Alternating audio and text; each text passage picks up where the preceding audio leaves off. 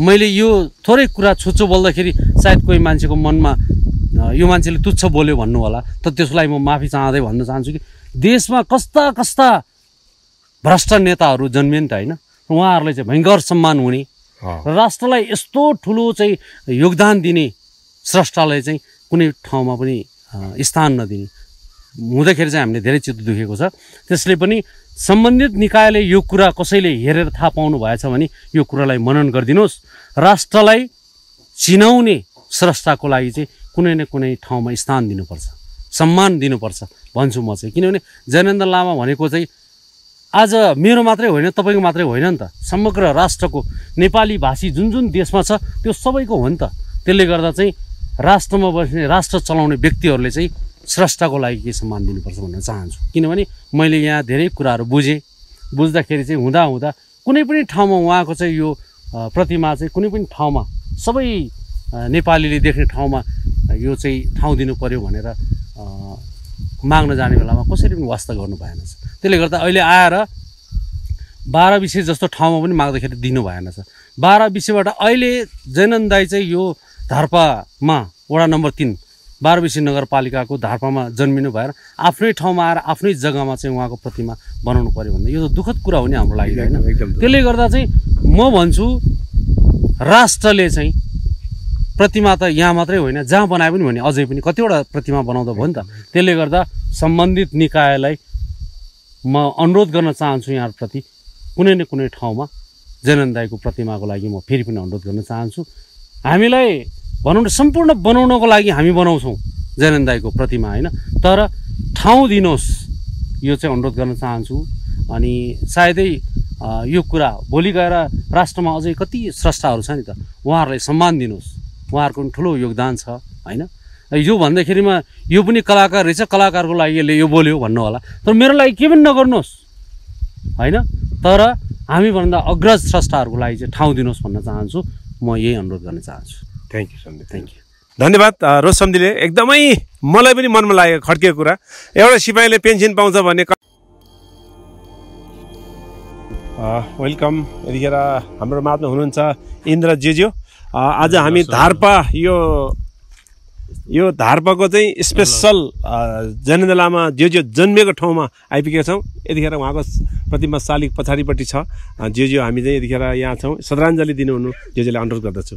धन्यवाद प्रेमजी। अ, लसो फ्याबलजी यो के अरे दार दार्बा? धार्पा दार्बा गाउँमा आज उहाँकै कारणले मृत्युकै कारणले यहाँ आइपुग्यो।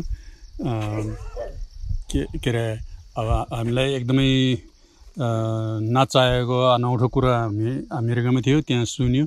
अनि हामीले त्यहाँ पनि एउटा सानो त्यहाँको तामाङ कम्युनिटी सोसाइटीले चाहिँ एउटा श्रद्धाञ्जलीको प्रोग्राम गरेको थियो। उहाँलाई तामाङ मात्रै नभएर अरू अरू जातिहरू पनि आउनुभएको थियो। अनि त्यो सबैजनाले चाहिँ दुःख मान्यो। अनि अब यो चाहिँ अब पहिले पोहोर कति एक डेढ वर्ष पहिलेको कुरा हो। अनि अस्ति बेलुका उहाँको घरमा अ, कौशलधारमा हामी गएको थियौँ। उहाँ चाहिँ अब मितिनीले छो उहाँको छोराले अनि हामी यो एकचोटि यसो घुम्न जानु पाए उम्, राम्रो हुन्छ यसो राम्रो हुन्छ भन्ने खालको कुरा राख्नुभयो। मैले पनि पहिले त्यो भिडियो हेरेपछि एक दिन कुनै न कुनै न कुनै दिनमा जाउँला भन्ने खालको सोच चाहिँ लिएको थियो। आज आजै आउँछ भन्ने चाहिँ सोचेको थिएन। आज चाहिँ यो एकदमै समय कस्तो मिल्यो भने साकादावको समय पूर्णेको दिन। अब हामी यहाँ सात आठजना आइपुगेको छ। मैले चाहिँ अब ओ यहाँसम्म जाने भएपछि म सँगसँगै अब रोज मक्तन भाइ र प्रेम लोप्चन भाइलाई चाहिँ नि सँगै लिएर जानुभयो भने मलाई चाहिँ एकदम राम्रो हुन्छ भन्ने खालको मलाई मनमा जाग्यो त्यस भएर मैले तपाईँहरूलाई आग्रह गरेको अनि तपाईँहरू आइदिनु भयो. अनि अब उम्, मृत्युको कुरा चाहिँ अब मेरो मेजिस र उहाँ मितिनी उहाँ चाहिँ पहिल्यै नै दरबारमै मित लगाएको रहेछ। अनि त्यहाँ कारणले चाहिँ उहाँहरूको नाता त्यस्तो रहेछ। अनि पछि गएर मित मेरो पनि मित भयो। तर अमेरिकामा नाइन्टिन नाइन्टी सिक्सतिर चाहिँ उहाँ कुनै कति समय बिताउनु भयो उहाँ अमेरिकामा मेरिल्यान्ड डिसीतिर बिताउनु भयो। म चाहिँ न्युयोर्कमा थियो तर हामीले त्यहाँ भेट्ने मौका चाहिँ पाएको थिएन। मैले उहाँलाई भेटेको भनेको व्यक्तिगत रूपमा भेटेको भनेको हाम्रो अम, अ, भुइँचालोपछि चाहिँ हामी केही राहत बाँड्ने बेलामा उसमा कमला दिको के हाल रोयल नेपाल एकाडेमी हल। त्यो एकाडेमी हलमा चाहिँ नि भेटेर उहाँ जाँदै हुनुहुन्थ्यो म भर्याङमा थियो हामी दुईजना एकछिन च्याटिङ गऱ्यो। त्यस्तै पाँच सात सात आठ मिनट जति। त्यति नै हो अनि अब first time and last time होइन? अब दुर्भाग्यमा अब के गर्ने यस्तै भयो। तर पनि अब उहाँको चाहिँ सधैँ नै अब स्वर्गीयवास देवजन्डी जन्म केगै केगै होइन? ना केजिनजी केजिनजी। केजिनजी केजिन यहाँ चाहिँ थाहा अरे सदैनन् अमरतागै जो थे कङ्रङ लनिदिनी रङ यल तागै किल्ल्याङ ल सदैनन् ओदेखि ल हस् फ्यापल दिदी अ, धन्यवाद यतिखेर इन्द्र जेज्यू उहाँको मिज्यू पनि एकदमै दरबारदेखिको कथा मिति नै जोडेको कुराहरू आयो। त्यो कारणले त्यो भएर त्यो हुन्छ भन्छ संसारमा हामी जन्मिन्छौँ हामी बुद्धिस्टहरू चाहिँ किन मरेको सरेको भन्छ कि? मरेको होइन सरेको भन्छ। फेरि जन्म आइसकेको हुन्छ। त्यस कारणले हामीले जन्म यदि नआएको भए कतै दुःखमा छ भने आफ्नो परिवारदेखि लिएर आफ्नो आफन्तजनहरू सबैले मैको गरेर बत्ती बालेर के के गरेर खाता लाएर उहाँको आत्मा छिटै देवचन्यमा बास होस् भनेर पूजा गर्छ छिटै जन्म मनुष्यको लोकमा जन्म होस् भनेर यसरी प्रार्थना गर्छ। यसै क्रममा मेरो इन्द्र जो जो युएसदेखि आउनु भएर आज फेरि धार्पमा उहाँको मितिनीको कारणले उहाँ जेठा छोराको कारणले कौशलधारमा खाना खान जानुभयो त्यहाँपछि उहाँहरूको प्लान गर्नुभयो। त्यो मौकामा हामी पनि आउनु मौका पायो। त्यसको लागि थ्याङ्क यू उहाँको सबै फ्यामिलीलाई जेठा छोरा र भाउजूलाई पनि हामीले थ्याङ्क यू भन्न चाहन्छौँ। स्वर्गीय जेनेन्द्र लामा दाजुको श्रीमती एकदमै देवी जस्तो एउटा बुद्धको मन भएको झ्याङझुप भएको भाउजूले चाहिँ हामीलाई आज यहाँ ल्याइपुऱ्याउनु भएको छ। उहाँलाई धेरै धेरै धन्यवाद दिँदै। हाम्रो साथमा धेरैजना आउनु भएको छ। सुभाष स्याङ्बु पनि हुनुहुन्छ युएसबाट आउनु भएको। उहाँ उतातिर भोक लाग्यो भने अलिकति उता जानु भएको छ। यतिखेर मेरो नजिकै हुनुहुन्छ हाम्रो सम्धि धेरैवटा गीत गाउनु भएको तपाईँहरूको प्यारो हामी कलाकार रोजमुक्तन सम्धिलाई यतिखेर म यता बोलाउन चाहन्छु। सम्धि वेलकम धन्यवाद जयन्त लामाको बारेमा हजुरले अब यहाँ आइसक्यो हामी। यहाँ जुन चाहिँ अब यत्रो मूर्ति बनाउनु भएछ यत्रो शालिग बनाउनु भएछ उहाँको ज्येष्ठ छोरा उहाँको दाई उहाँको माइला भाइ होइन।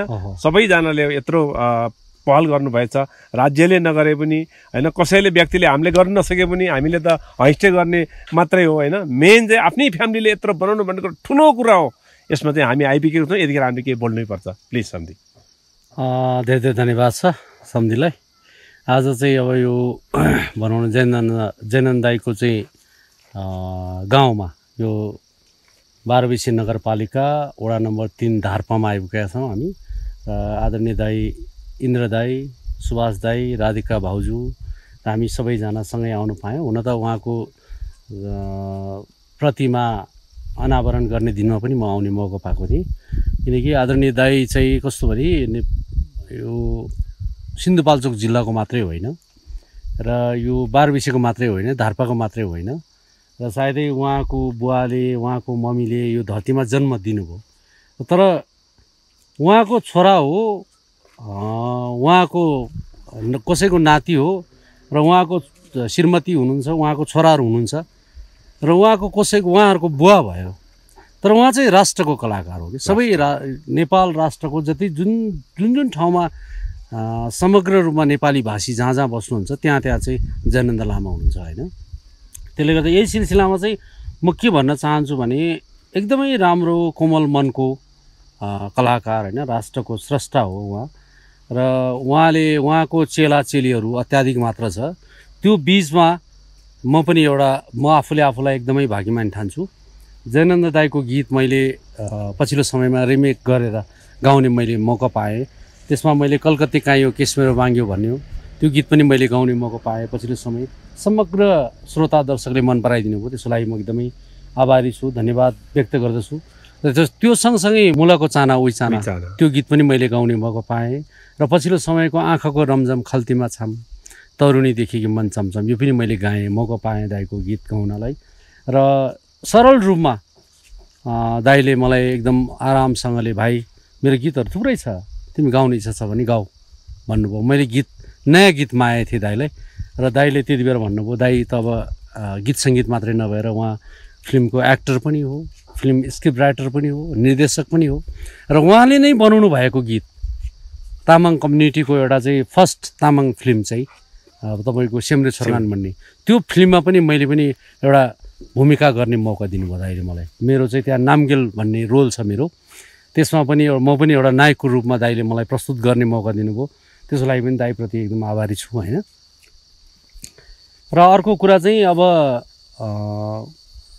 समग्र राष्ट्रको एउटा स्रष्टालाई चाहिँ हामी कलाकारहरूले जहिले पनि सम्झिन्छौँ। होइन म त अब सिधै भन्नुपर्दा जेनन दाईको भाइ भन्दा पनि भयो छोरा भन्दा नि भयो जे भन्दा नि भयो। तर म एउटा एक कुरामा मनमा चित्त दुखेको कुरा चाहिँ के छ भन्दा राष्ट्रले सम्झिनुपर्ने व्यक्ति हो नि त उहाँ त।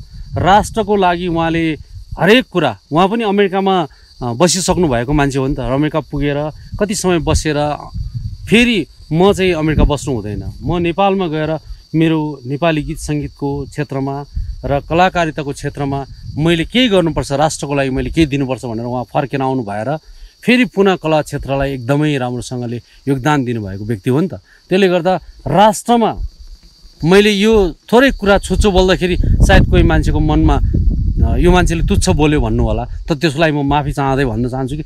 देशमा कस्ता कस्ता भ्रष्ट नेताहरू जन्मिए नि त होइन? उहाँहरूलाई चाहिँ भयङ्कर सम्मान हुने। राष्ट्रलाई यस्तो ठुलो चाहिँ योगदान दिने स्रष्टालाई चाहिँ कुनै ठाउँमा पनि स्थान नदिने। हुँदाखेरि चाहिँ हामीले धेरै चित्त दुखेको छ। त्यसले पनि सम्बन्धित निकायले यो कुरा कसैले हेरेर थाहा पाउनु भएछ भने यो कुरालाई मनन गरिदिनुहोस्। राष्ट्रलाई चिनाउने स्रष्टाको लागि चाहिँ कुनै न कुनै ठाउँमा स्थान दिनुपर्छ। सम्मान दिनुपर्छ भन्छु म चाहिँ। किनभने जयनन्द लामा भनेको चाहिँ आज मेरो मात्रै होइन तपाईँको मात्रै होइन नि त। समग्र राष्ट्रको नेपाली भाषी जुन जुन देशमा छ त्यो सबैको हो नि त। त्यसले गर्दा चाहिँ राष्ट्रमा बस्ने राष्ट्र चलाउने व्यक्तिहरूले चाहिँ स्रष्टाको लागि के सम्मान दिनुपर्छ भन्न चाहन्छु। किनभने मैले यहाँ धेरै कुराहरू बुझेँ। बुझ्दाखेरि चाहिँ हुँदा हुँदा कुनै पनि ठाउँमा उहाँको चाहिँ यो प्रतिमा चाहिँ कुनै पनि ठाउँमा सबै नेपालीले देख्ने ठाउँमा यो चाहिँ ठाउँ दिनु पऱ्यो भनेर माग्न जाने बेलामा कसरी पनि वास्ता गर्नु भएन त्यसले गर्दा अहिले आएर बाह्र विषय जस्तो ठाउँमा पनि माग्दाखेरि दिनु भएन छ।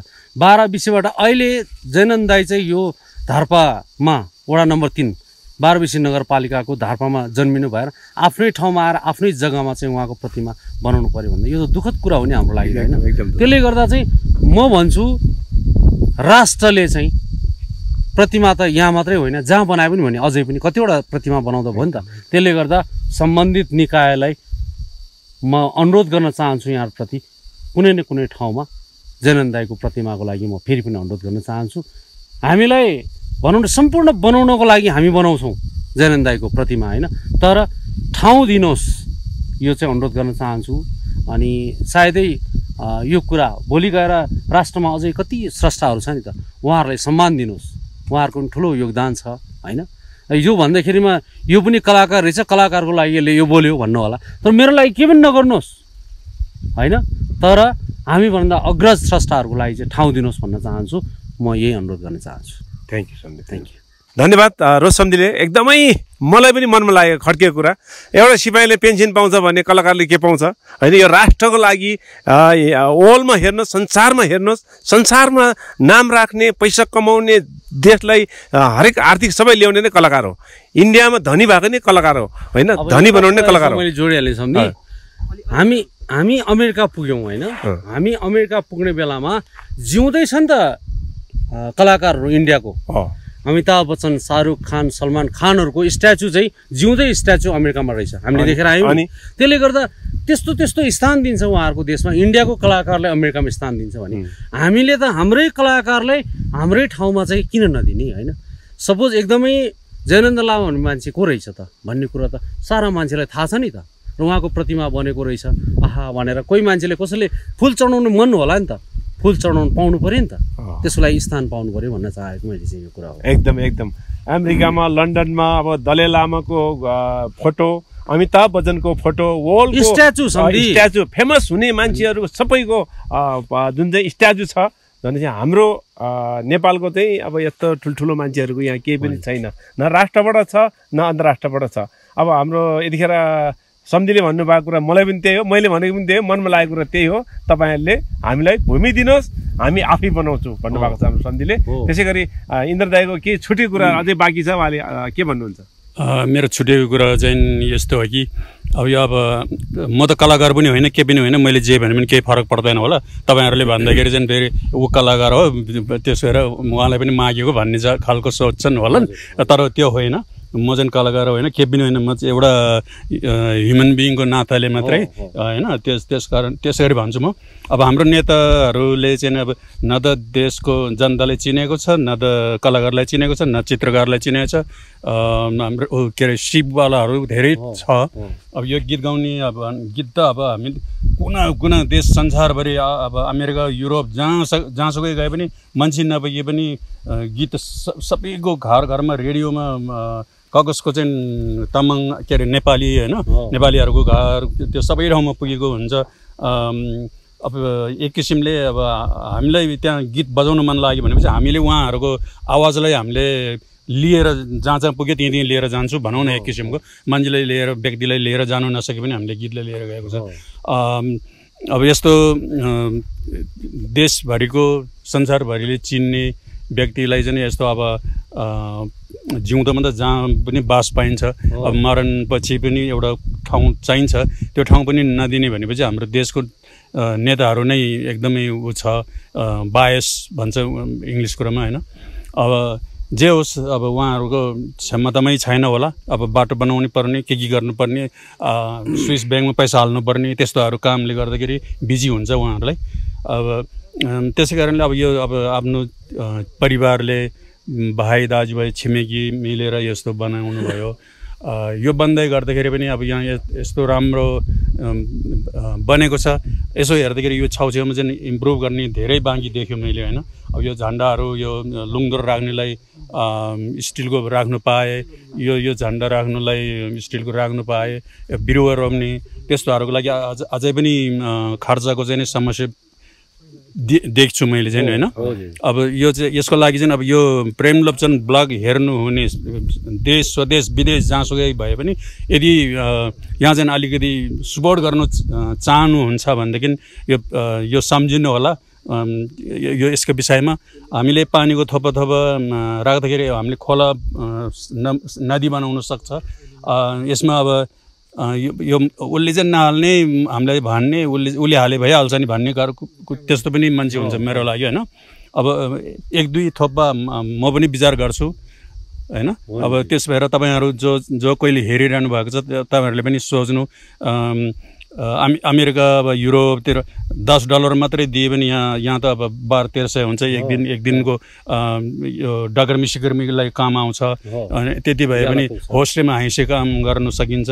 त्यो भएर मैले यति कुरा गरेँ मैले दिनु सक्ने भएर भनेको पनि होइन के पनि होइन। यो स अलिकति नसुनेकोहरूलाई सुनोस् भनेर भनेको छ है। धन्यवाद। थ्याङ्क यू थ्याङ्क यू धन्यवाद इन्द्र दाई यतिखेर हाम्रो यो धार्पकै जन्मेकै ठाउँमा आएर यो कुरा राख्दाखेरि हामीलाई एकदमै भित्रबाट हामीलाई छुइरहेको छ।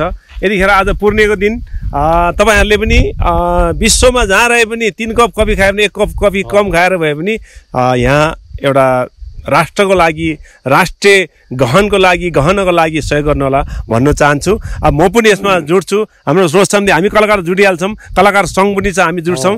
तपाईँहरूलाई यदि उपाय खोज्नुहुन्छ भने तपाईँलाई यदि चाहिन्छ भने सम्पर्क चाहिन्छ भने तपाईँले कलाकार सङ्घमा सम्पर्क गर्नुहोस् अथवा रोजमुक्तनमा।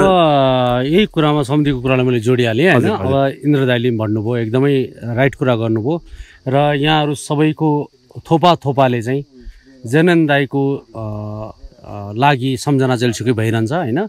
एउटा चाहिँ जेनन दाई भनेको एउटा स्रष्टा हो। जति पनि गीत सङ्गीतको पारखी हुनुहुन्छ यहाँहरूले जति सक्नुहुन्छ तपाईँको अघि इन्द्र दाईले भन्नुभयो जस्तै गरेर तपाईँले जति सक्नुहुन्छ त्यति तपाईँ सहयोग गर्नुहोस्। अब जयनेन्द्र लामा दाईको एउटा प्रतिष्ठान खडा भइरहेको छ। त्यसले गर्दाखेरि सम्पर्क गरेर सायदै भनौँ न उहाँको फ्यामिलीसम्म अथवा उहाँको जुन प्रतिष्ठानको मेम्बरसम्म र हामी पुर्याउने हामी सपोर्ट गर्छौँ होइन? ठाउँ। बाटो देखाउँछौँ। र प्रेम लोप्चन सम्धि र अथवा मसँग सम्पर्क गर्नुभए पनि हुन्छ। त्यसले गर्दा अझै जनेन दाईलाई राम्रोसँगले उहाँको शरीर बितेर जानु भए पनि उहाँको गीत सङ्गीतहरू उहाँको आत्मा चाहिँ हामी तमाम नेपाली भाषीको माझमा छ। त्यसैले पनि म पनि अहिले इन्द्र दाईले भन्नुभयो जस्तै गरेर त्यो कुरालाई यहाँहरू समक्ष एकदमै अनुरोध गर्न चाहन्छु। र साथसाथै आज चाहिँ जेठ महिनाको बिस गते शनिबारको दिन चाहिँ विशेष पूर्णिमाको दिन आज बौद्ध धर्मावलम्बीहरूको साकादवा भन्छ। त्यसले गर्दा सबै सबै संसारभरि बस्नुहुने प्राणीहरूको एकदमै राम्रो होस् जय होस् सबैको उत्तर उत्तर प्रगति होस् र आदरणीय दाईप्रति चाहिँ हार्दिक श्रद्धाञ्जली अर्पण गर्न गर्दछु र सम्पूर्ण उहाँको परिवारप्रति चाहिँ समवेदना प्रकट गर्न चाहन्छु। Thank you